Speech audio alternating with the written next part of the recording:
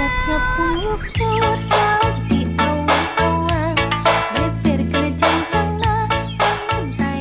Langit selasa biru nan indah, awan berarak mengikuti sang angin.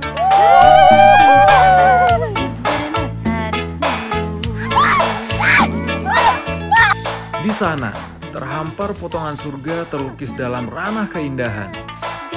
Saya juga dapat, Bang. Oh, bohongan hamparan gurun pasir, Capek banget, aduh. menikmati keindahan pantai sayang helang,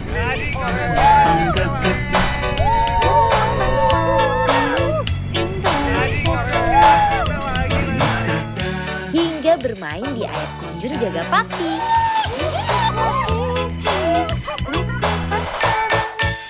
Inilah Indonesiaku, hamparan keindahan yang menghiasi tanah airku.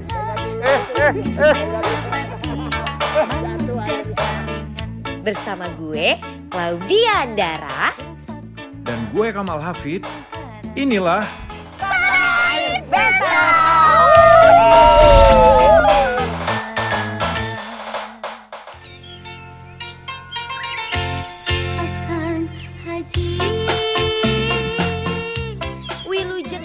Sadayana.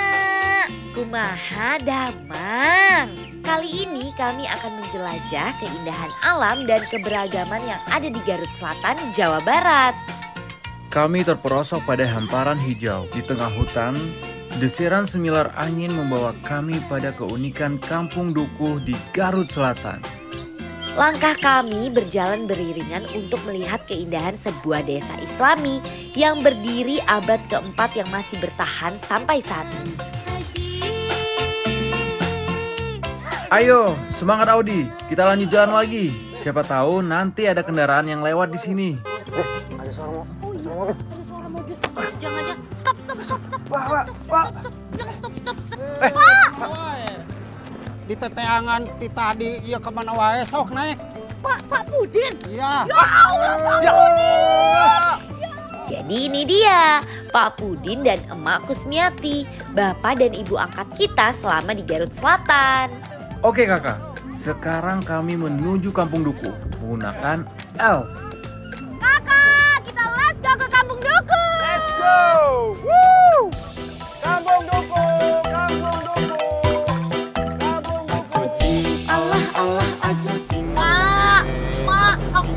Pertama kali tahu naik elf Masa nih? iya beneran ternyata sepanas ini ya Tapi setahu gue lu sering naik angkot di Jakarta. Enggak dong, enggak dong. Iya naik angkot jadi keneknya ya, Say. Iya, ya di sini cuma satu-satunya mobil ini yang berangkatnya dari sana juga sa- satu kali ke sini Jadi transportasi di sini eh, Elep cuma datang satu kali sehari. Allah aja jing. Hideng gomplok Seru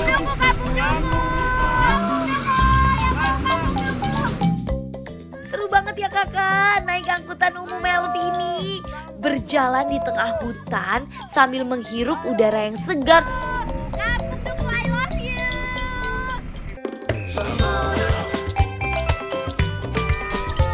Kampung Duku, Kampung Duku. Kampung Duku. Pak, mau Kampung Duku nggak? Kok berhenti? Pak, kok berhenti, Pak? terus begitu turunnya Oh, udah nyampe. Alhamdulillah.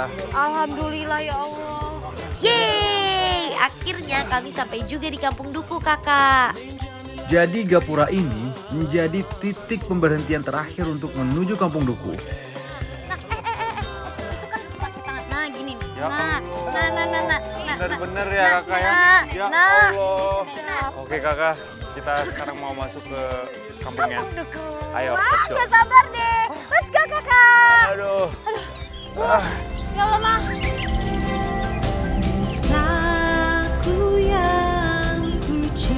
Oke kakak, sekarang kita masih harus berjalan kaki untuk menuju kampung adat Duku.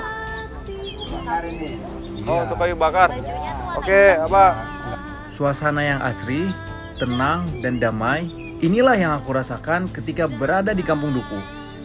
Selain alamnya yang indah, ternyata warga di sini pun sangat ramah.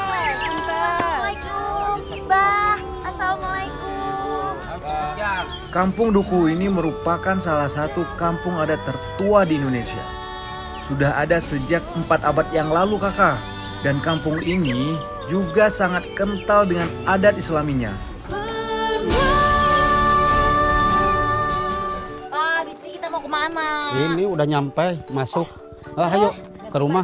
Ganti dulu baju nih, apalagi si Ujang nih di, kalau masuk ke sini mah nggak boleh pakai celana pondok harusnya. Nggak boleh pakai celana pendek. Ya, yuk Harus masuk. pakai celana panjang. Iya iya iya bah, saya saya minta maaf bah ya. Iya, yuk ganti.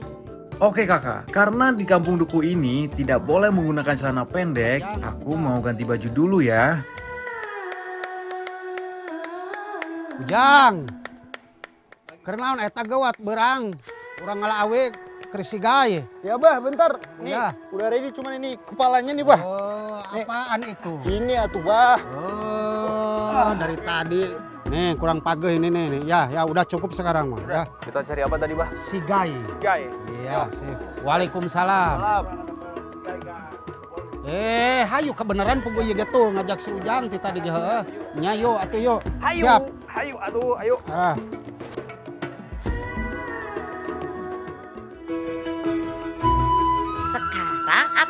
Mau buat sale pisang dulu nih. Sedangkan Kak Kamal dan juga Bapak mau mencari sigai ke hutan nih kakak.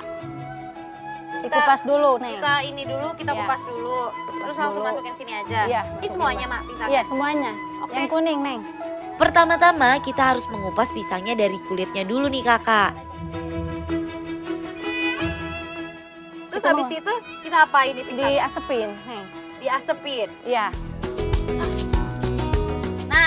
di sini aja gitu, Mak. iya.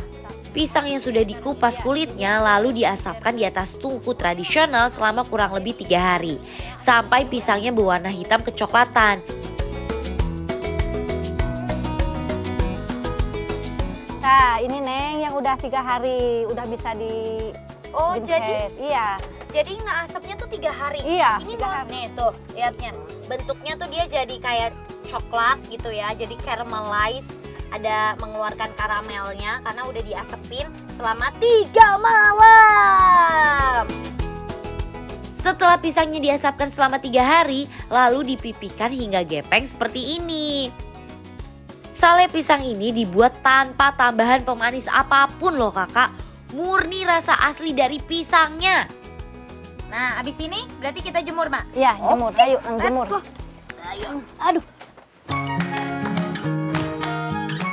Setelah dipipihkan, lalu pisang dijemur di bawah terik matahari selama kurang lebih dua hari sampai pisangnya ini mengering.